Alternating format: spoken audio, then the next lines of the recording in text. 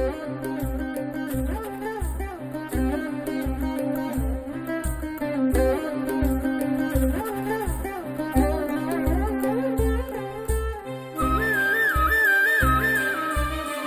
ఎప్పుడు వెలుగులు చిమ్మె కాంతి పుంజమేనమ్మా. మానవ జాతికి రక్షణ కవచం మహిళా మూర్తేనమ్మా.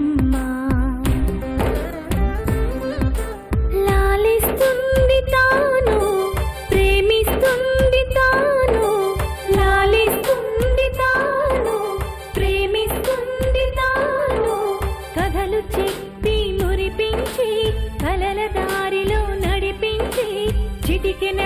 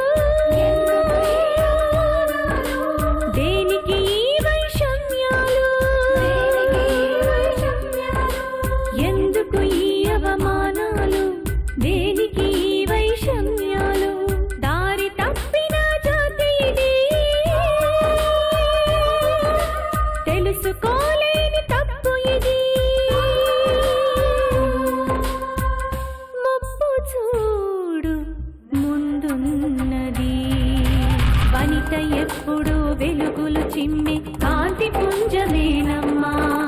మానవ జాతికి రక్షణ కవచం మహిళా మూర్తేనమ్మా. తెలుసుకోవాలి తప్పు దిద్దుకోవాలి.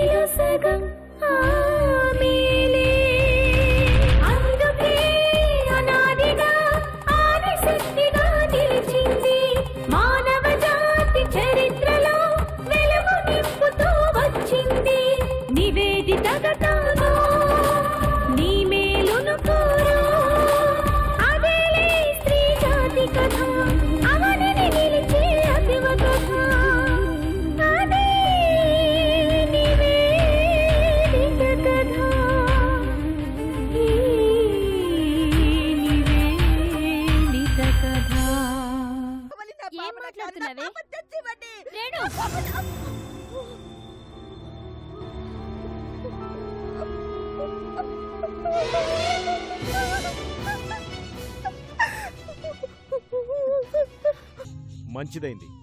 ఆడపిల్ల గనక పుట్టుంటే పీక పిసికి చెత్త కుప్పలో పడేసుండేవాణ్ణి. Good idea. ప్రతి తల్లి తండ్రి మొదటి నుంచి అలాగే అనుకునుంటే బాగుండేది. అప్పుడు ప్రపంచంలో మగవాళ్ళే పెళ్ళి చేసుకుని కాపురాలు చేసి మగపిల్లల్నే కనేవాళ్ళు. ఎప్పటికైనా నువ్వు కంటావుగా అప్పుడు కను అరడజన మంది ఆడపిల్లల్ని. అప్పుడు తెలుస్తుంది వాళ్ళెదిగి గుండెల మీద కుంపటైతే ఆ నొప్పేంటో అప్పుడు తెలుస్తుంది. మీరన్నట్లు అదే జరిగితే నాకన్నా అదృష్టవంతురాలు అపూర్వమైన తల్లి ఈ ప్రపంచంలోనే మరెవ్వరూ లేరనుకుంటాను. వాళ్ళని ఎవ్వరూ ఊహించినంత గొప్పగా పెంచుతాను పెద్ద చేస్తాను ఈ దేశానికి గర్వంగా వాళ్ళని కానుకలుగా ఇస్తాను. నివేదిత నివేదిత నివేదిత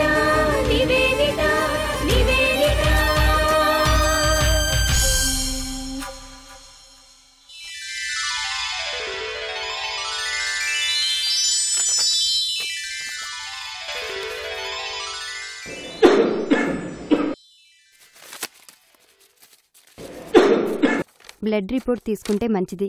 మీరు టెస్టింగ్కి ఇవ్వండి.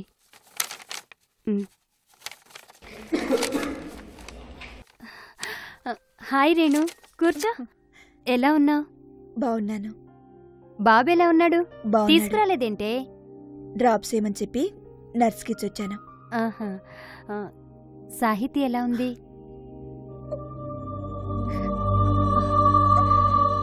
మాటకు ముందు ఏడిస్తే నాకు కోపం వస్తుంది. ఏడు పాపి అసలు సంగతి ఏంటో చెప్పవే. ఏదైనా సమస్య ఉంటే పరిష్కరించుకుందాం. అయిపోయింది సుజాత. సర్వనాశనం అయిపోయింది. నా పెరిగితనం నా అసమర్థత నా జీవితాన్ని సర్వనాశనం చేసేసింది. నేను ఇంకెవరి కోసం బతకాలి? నీ ఇద్దరి పిల్లల కోసం నిండైన నీ జీవితం కోసం. అసలు ఏం జరిగిందే? సాహితిని హాస్టల్లో చేర్పిస్తానంటున్నారు. ఎందుకు? దాని పనిలో పడి బాబుని పూర్తిగా నిర్లక్ష్యం చేస్తున్నానట అని ఎవరన్నారు మీ ఆయన అత్తగారా? ఇద్దరు. ఆయన తానా అంటే ఈవిడ తందానా అంటుంది. మీ ఆయనకేమైనా మెంటలా? ఎందుకు ఆ పిల్లంటే అలా శత్రువులా ప్రవర్తిస్తున్నాడు? అక్కస్తో చచ్చిపోతున్నాడు. హాస్టల్లో చేర్పించి ఏం చేస్తాడట? అది విని నువ్వేడుస్తూ కూర్చున్నావా? ఏం చెయ్యను. సిగ్గులేదు ఆ మాట చెప్పడానికి కాలర్ పట్టుకొని చేర్పించడానికి వీల్లేదు అని దబాయించలేవా? అలా చేస్తే ఏం జరుగుతుందో నీకు తెలీదా? ఏం జరుగుతుంది? నిన్నొకటి లాగి కొడతాడు. అంతేగా? ఆ తర్వాత నువ్వు కూడా లాగి లెంపకాయ కొట్టు. దెబ్బకు నోరు మూసుకుంటాడు. సెట్ అవుతాడు. అంతేగాని మోహన్ సాహితీని హాస్టల్లో చేర్పిస్తానంటే నువ్వు తిండి నీళ్ళు మానేసి ఇలా ఏడుస్తూ కూర్చుంటావా? అసలు రేణు నీకు ధైర్యం ఎప్పుడొస్తుందే? నేను చచ్చాక నా చావుతోనే ఈ సమస్యకు పరిష్కారం దొరుకుతుంది. నాకు చావు రావాలి. నాకు చావు కావాలి. నోరు ముయ్యవే ఏమన్నా అంటే చావాలి రావాలి అంటావు. నీకు తెలీదు సుజాత. నేనొక బందీని. ఈ రోజు నుంచి నేను నీ దగ్గరికి రాకూడదు. మాట్లాడడానికి వీల్లేదు. ఏ?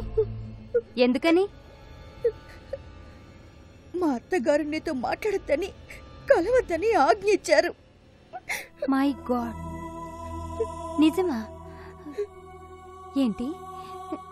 వాళ్ళు అసలు నిన్నొక మనిషి అనుకుంటున్నారా లేదా? నీకు కొన్ని ఇష్టాలు. నీకంటూ ఒక జీవితం ఉందని మర్చిపోతున్నారా? రాళ్ళు రప్పలకి మనసులో ఇష్టాలు ఉండవు సుజా. చెక్కితే రాయి నుండే దేవతా విగ్రహం వస్తుంది. ఇదేం నియంతృత్వమా? వింటుంటేనే నా రక్తం సలసలా మరిగిపోతోంది. నువ్వెలా భరిస్తున్నావే? తప్పదు. ఆయన వదిలేస్తే ఎలా బతకను? నాకు ఉద్యోగం లేదు. అమ్మ నాన్న తోడబుట్టిన వాళ్ళు ఎవ్వరూ లేరు. పిల్లల్ని ఎలా పెంచను? బ్రతకడం అంత కష్టమా? నాలాంటి వాళ్ళకి అన్ని కష్టాలే. నాకు నీ పరిస్థితి చూస్తుంటే ఒక పక్క బాధగాను మరో పక్క కోపంగాను ఉంది. సరే బాబుకి డ్రాప్స్ వేసుంటారు. పద వెళ్దాం.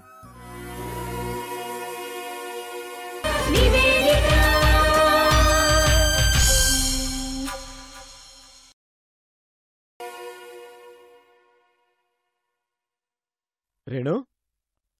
రేణు? అమ్మా? అమ్మా? అమ్మా? ఆ, ఏంట్రా ఏమైంది? ఉయ్యాల్లో బాబు కనపట్లేదు రేణు కనపట్లేదు ఎక్కడికెళ్ళింది? వాడికి పోలియో డ్రాప్స్ వేయించుకొస్తానని హాస్పిటల్కి తీసుకెళ్ళిందిరా. ఎంతసేపు అయింది వెళ్ళి? ఓ అరగంట అయి ఉంటుంది ఈ పాటికి వచ్చేస్తూ ఉంటారు. కాఫీ ఏమైనా తాగుతావా? అక్కర్లేదు నువ్వు పడుకో నేను ఇక్కడ దాకా వెళ్ళొస్తాను. ఆ,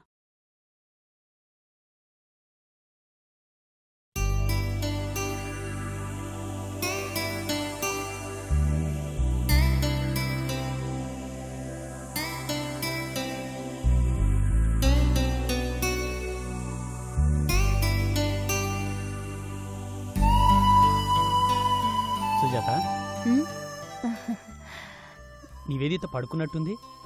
ఇల్లంతా నిశ్శబ్దంగా ఉంది? అవునండి పడుకుంది. అయినా మీలా రాత్రంతా మేల్కొని ఉంటుందా ఏంటి? నా అంత పెద్దయ్యాక పన్నెండింటి దాకా మేలుకొని ఉంటుందో అసలు నిద్రేపోకుండా తెల్లవార్లు మేలుకొని పనులు చేస్తుందో చూద్దాం. నాలాగా డాక్టర్ అయితే మాత్రం భోజనానికి నిద్రకి టైం మెయింటెనెన్స్ చేస్తుంది. కాకపోతే మీలాగా సైంటిస్ట్ అయితే మాత్రం నిద్రపోదు. పోనీలే. ఆ, నువ్వు ఇంకో పాపాయిని కను అప్పుడు నివేదితని డాక్టర్ని చేద్దాం. చిన్న పాపని నాలాగా సైంటిస్ట్ చేద్దాం. సరేనా? అవునండి. నివేదితను డాక్టర్ని చెయ్యాలి భారతదేశం గర్వించే గొప్ప డాక్టర్ని చెయ్యాలి అప్పుడు చెప్పాలి మోహన్కి. ఆడపిల్ల విలువేంటో. అవును. ఈ మధ్య రేణుక కనిపించడం లేదేంటి? మీకు చెప్పలేదండి. ఫీల్ అవుతారని. రేణు వాళ్ళ అత్తగారు నన్ను రేణు కలవకూడదని మాట్లాడకూడదని ఆంక్షలు పెట్టిందట. ఎందుకని? ఆడపిల్లల గురించి అసహ్యంగా మాట్లాడుతుంటే నేను ఆవిడ క్లాస్ పీకాను. అందుకని. అయ్యో పాపం. కనీసం వారానికి రెండుసార్లన్నా వచ్చి పిల్లని చూసుకుని వెళ్ళేది. ఇప్పుడు అవకాశం లేదన్నమాట. వాళ్ళందరూ మూర్ఖుల్లా ఉన్నారే? ఉండటం కాదండి మూర్ఖులే. ప్రతి శుక్రవారం అమ్మవారి గుడికి పాపను తీసుకొచ్చి చూపించమని రిక్వెస్ట్ చేసింది రేణు. నేనే తీసుకెళ్ళి చూపిస్తున్నాను. అలాగా? పాపం. నేనోసారి వాళ్ళ ఇంటికెళ్ళి అసలు మోహన్ మనసులో ఏముందో తెలుసుకుంటాను. నెమ్మదిగా నచ్చ చెప్పి రేణుక కష్టాలు తీరే మార్గం చూస్తాను. ఎంతకాలం రేణుకకి కష్టాలు? మోహన్ మనసు మారినంతకాలం ఏమండి? మీకు చేతనైతే మోహన్ మనసు మార్చండి.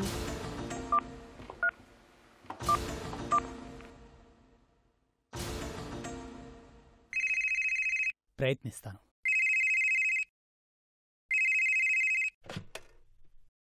Hello? Hello Suji. One minute. Renu. Renu చెప్పవే. సుజాత బాబు బాబు. బాబుకేమైంది? చెప్పవే. ఉన్నట్టుండి కళ్ళు తేలేశాడే. నువ్వు తొందరగా రా. నువ్వు బాబుని తీసుకుని హాస్పిటల్కి రా.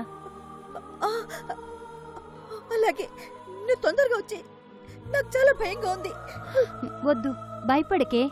అంతా సర్దుకుంటుంది. న- నాతో పాటు పిల్లల డాక్టర్ని కూడా తీసుకొస్తాను. సరేనా? సరే. ఏం జరిగింది Sujatha? Problem. Again another problem. Renu వాళ్ళ బాబుకి బాగలేదట. కళ్ళు తేలేసాడట పద. త్వరగా రెడీ అవ్వు, వెంటనే వెళ్దాం. అలాగేనండి.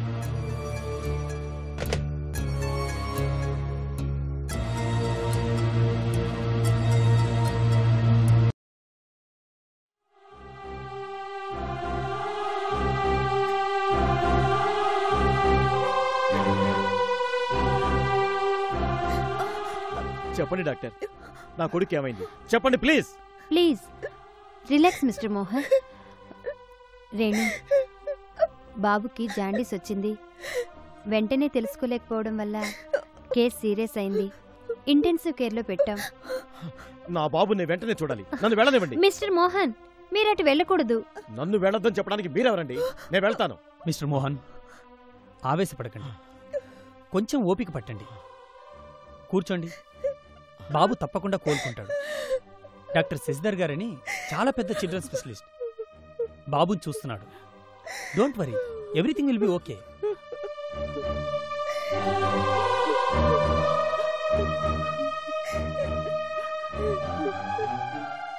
నా బాబుకి ఏమన్నా జరిగిందంటే నేనెవ్వరిని స్పేర్ చేయను. అందరినీ అందరినీ ముక్కలు ముక్కలుగా నరుకుతాను. ఈ హాస్పిటల్ని పేల్చేస్తాను. హా, పేల్చేస్తాను. నేనేం పాపం చేశాను సుజా? భగవంతుడు నా జీవితంతో ఎందుకు ఇలా ఆడుకుంటున్నాడు? నాకు ఎందుకే కష్టాలు?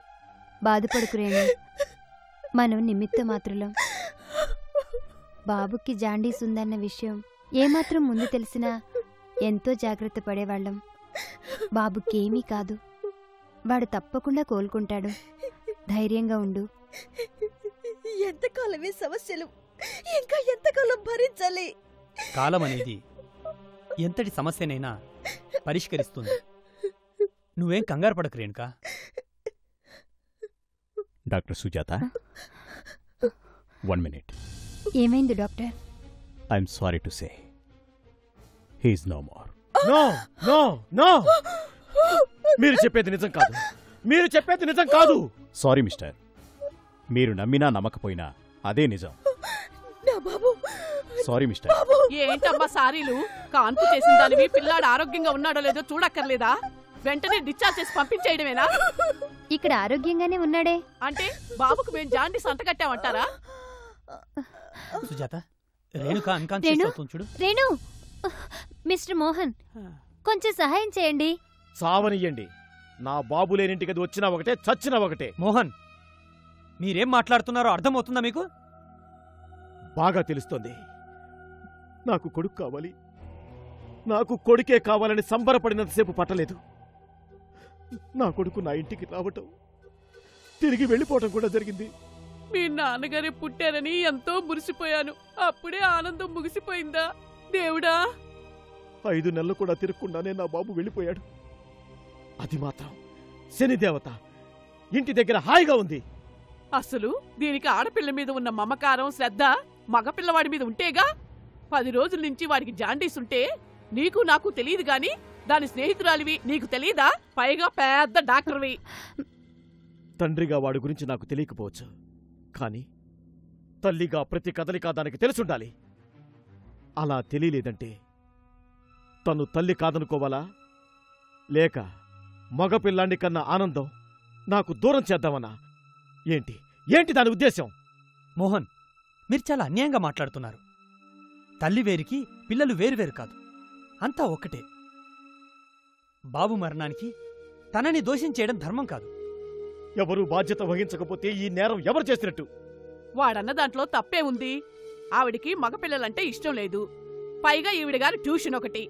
అందుకే వాణ్ణి నిర్లక్ష్యం చేసింది. ఆ దరిద్రపు దాన్ని మేము సరిగ్గా చూడడం లేదన్న కుళ్ళుతో బాబును తను సరిగ్గా చూడకుండా పొట్టను పెట్టుకుంది. అమ్మా మీకు చేతులెత్తి దండం పెడతా. మీరు ఓ తల్లే. మీరు ఆడవారే. మీరిలా మాట్లాడడం ఏం బాగోలేదు సాహిత్యం తిట్టడంలో అర్థం లేదు. మోహన్ గారు రేణు పరిస్థితి బాగాలేదు. తనని అడ్మిట్ చేయాలి. సెలైన్ ఎక్కించాలండి. మీ ఇష్టం వచ్చినట్టు చేసుకోండి. నా బాబు లేకపోయినప్పుడు నాకు ఎవ్వరు ఉన్నా ఒకటే లేకపోయినా ఒకటే. నా బాబు నాకు ఇచ్చేయండి.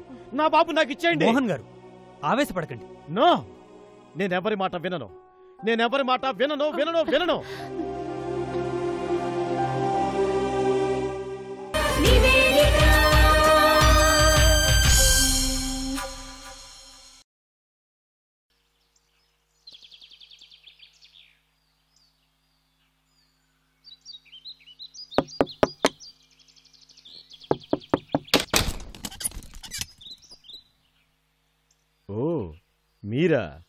ఎందుకొచ్చారు? ఎలా ఏడుస్తున్నారో చూసిపోదాం వచ్చారా? మిస్టర్ మోహన్ చనువు తీసుకుంటున్నానని అనుకోవద్దు. రేణుక గారు బాగుపోయిన షాక్ నుంచి ఇంకా తేరుకోలేదు. చస్తుందా? సావనివ్వండి. పీడాబోతుంది. అంత దారుణంగా మాట్లాడకండి. అసలే ఆవిడ బోలెడు దుఃఖంలో ఉన్నారు. ఇక మీరు సాహితీని హాస్టల్లో చేర్పిస్తే ఏం చచ్చిపోదు. ఉన్న ఒక్క కూతురు కళ్ళ ముందు లేకపోతే ఆ తల్లి ఎంత ఆవేదన పడుతుందో ఆవిడకే తెలుసు. అయితే ఇప్పుడు నన్నేం చేయమంటారు? దయచేసి సాహితీని హాస్టల్లో చేర్పించే ఆలోచన మానేయండి. ఇదేనా మీ సలహా? అది నా కళ్ళ ముందు ఉండకూడదు. నాకు కావలసింది నా కొడుకు. వాడు లేడు. అది నా కళ్ళ ముందు కనిపిస్తే వాడి చావు కారణం అదే అని నాకు అనిపిస్తూ ఉంటుంది. నాలోని రాక్షసుని చూడటానికి ప్రయత్నం చేయకండి. ఈ ఎలక్ట్రానిక్ యుగంలో కూడా ఆడపిల్ల మగపిల్లాడు అని వేర్చేసి మాట్లాడకండి. ఆడపిల్లలు మగపిల్లాడికి ఏ విధంగా తీసిపోయారు? ఎన్నో విజయాలు సాధిస్తున్నారు. అలాంటిది మీరు మీ కన్నబిడ్డని ఎందుకు ద్వేషిస్తున్నారో నాకు అర్థం కావడం లేదు. ఏ? ఆ అమ్మాయి మాత్రం మీ రక్తం పంచి పుట్టలేదు? అది ఏం సాధించినా దాని మొగుడికి అత్తమామలకే చెందుతుంది. నాకేం వరగదు. అంటే మగవాడు గొప్పవాడనా? ఎంతమంది కొడుకులు తల్లిదండ్రుల్ని వీధిలో పాలు చేయడం లేదు? అవన్నీ నిజం కాదు. నా కొడుకుని ఐఏఎస్ చేయాలనుకున్నాను. నా కలలన్నీ కొట్టుకుపోయాయి. మీ కూతుర్ని ఐఏఎస్ చదివించండి. పెళ్ళి చేసుకుని పోయేదాని మీద అంత ఖర్చెందుకు? మీరు పిల్లల జీవితాల్లో కూడా లాభ నష్టాలు బేరీజ్ వేస్తారా? కబుర్లు చెప్పడం చాలా తేలిక మిస్టర్ ఆనంద్. మీకసలు పిల్లలు లేరు కాబట్టి ఆడైనా మగైనా ఒకటే అనుకుంటున్నారు. అదే ఆడపిల్లలుంటే మీరు నాలాగే ఫీల్ అయి ఉండేవాళ్ళు ఎప్పటికీ బాధపడను. మాకు పిల్లలు లేరు.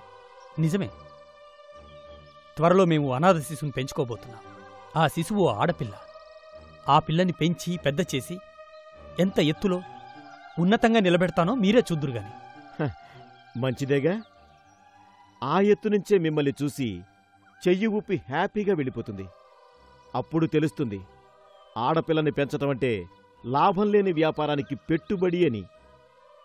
నాకు మానవ సంబంధాలు ఆత్మీయ బంధాలు కావాలి. మానవ జీవన వ్యాపారం కాదు. బంధాలు బూడిదయ్యే వేళ ఆఖరికి తలకొరివి పెట్టడానికి కొడుకే కావాలన్న వాస్తవం అప్పుడు తెలుసుకుంటారు. దాందే ఉంది కూతురే చితికి నిప్పు పెడితే అంటుకోనంటుందా? గుడ్. మీరు మన సంప్రదాయాన్ని హిందూ ధర్మశాస్త్రాన్ని సవాల్ చేస్తున్నారన్నమాట. అవసరమైతే ధర్మశాస్త్రాన్ని తిరగరాస్తాను.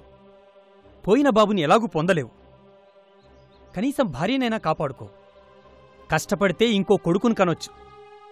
పున్నామ నరకం నుంచి తప్పించుకోవటానికి